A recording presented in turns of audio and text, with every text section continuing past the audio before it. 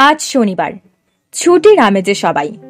তাতে অবশ্য থেমে নেই সংবাদ কর্মীদের কাজ। আর তাই সন্ধ্যায় পাওয়া দেশ বিদেশের নানা খবর ও বিশ্লেষণ যা হয়তো আপনার চোখ এড়িয়ে গেছে। দেশ, রাজনীতি, অপরাধ, বিনোদন, বাণিজ্য ও খেলা জগতের আলোচিত নয়টি খবরের বিস্তারিত জানতে চ্যানেলটি সাবস্ক্রাইব করুন এবং না টেনে পুরো ভিডিওটি দেখুন। চড়া দামের কারণে মুরগি কিনতে হিমশিম অবস্থা নিম্ন আয়ের মানুষের। মুরগির পা, গিলা, কলিজা, গলা একশো পঞ্চাশ টাকা কেজি দরে কিনছেন এক নারী। কারওয়ান বাজারের দৃশ্য এটি। কুষ্টিয়া ইসলামী বিশ্ববিদ্যালয়ের দেশরত্ন শেখ হাসিনা হলে নির্যাতনের শিকার হয়ে ক্যাম্পাস ছাড়া সেই ছাত্রী এক সপ্তাহ পর আজ হলে ফিরেছেন। নির্যাতনের ঘটনায় হল প্রশাসনের গঠিত তদন্ত কমিটির কাছে সাক্ষ্য দিতে বাবার সঙ্গে হলে এসেছেন তিনি।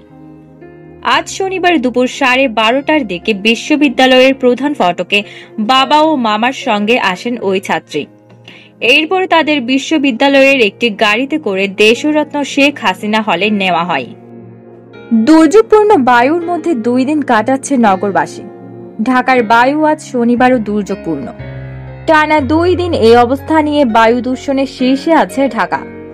ঢাকায় চলতি বছরের জানুয়ারি মাসে সবচেয়ে বেশি সংখ্যক দিন দুর্যোগপূর্ণ বায়ুর মধ্যে কাটিয়েছে নগরবাসী।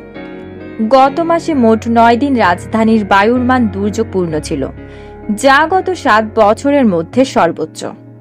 সাপ্তাহিক ও সবে মিরাজের ছুটি সহ টানা তিন দিনের ছুটিতে সুন্দরবনের করমজলে পর্যটকদের ভিড় বেড়েছে। গতকাল শুক্রবার থেকেই এই ভিড় বাড়তে শুরু করে।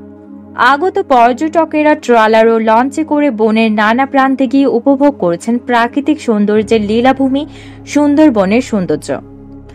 আজ শনিবারও পর্যটকদের ভিড় সামলাতে বনরক্ষীদের রীতিমতো হিমশিম খেতে হচ্ছে। আগামীকাল রোববার চাপ আরও বাড়বে বলে জানিয়েছেন করমজল পর্যটন কেন্দ্রের দায়িত্বরত কর্মকর্তারা। দেশের শিক্ষা প্রতিষ্ঠানগুলো যেন এখন ছাত্রলীগের নির্যাতন কেন্দ্রে পরিণত হয়েছে। ছাত্রলীগের কর্মীরা যখন যাকে খুশি ডেকে নিয়ে আটকে নির্যাতন করছেন। নির্মমভাবে মারধর করা, বিবস্ত্র করা, এমনকি অপহরণ করে চাঁদা আদায় কোনো কিছুই আর বাদ রাখছে না ছাত্রলীগ। যতই দিন যাচ্ছে, ছাত্রলীগ ততই ভয়াবহ রূপ ধারণ করছে। বিস্ময়করভাবে কোনো কোনো ক্ষেত্রে শিক্ষা প্রতিষ্ঠানের শিক্ষকেরাও তাদের সহগামী হচ্ছেন।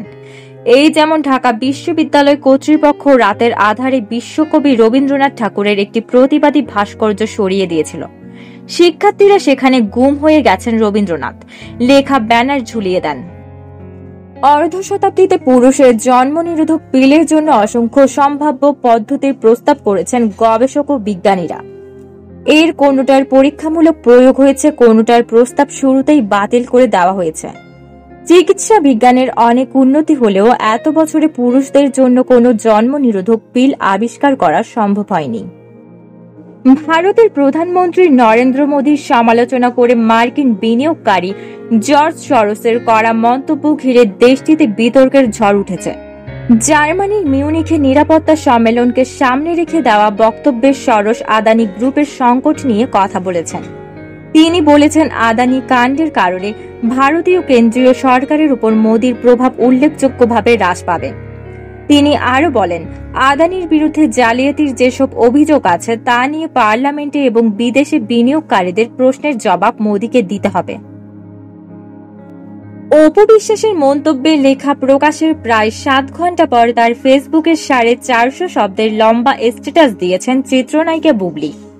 মুহূর্তে ভাইরাল স্ট্যাটাসটি যদিও পোস্টটিতে বুবলি কারও নাম উল্লেখ করেননি, কিন্তু অনেকেই ধারণা করছেন অপুর মন্তব্যের সূত্র ধরেই স্ট্যাটাসটি লিখেছেন বুবলি। লিওনেল মেসি কি দু বিশ্বকাপ খেলবেন? এটি যেন এখন কোটি ডলারের প্রশ্ন। কাতার বিশ্বকাপের আগে থেকেই বারবার সামনে আসছিল এই প্রসঙ্গ। সে সময় একাধিক সাক্ষাৎকারে মেসি নিজেই পরের বিশ্বকাপে খেলার সম্ভাবনায় ইতি টেনে দেন। মেসির সিদ্ধান্ত নিয়ে তার সতীর্থ কিংবা কাছের মানুষেরা তখন বিশেষ কোনো মন্তব্য করেননি। পরিস্থিতি বদলে যায় আর্জেন্টিনা বিশ্বকাপ জয়ের পর।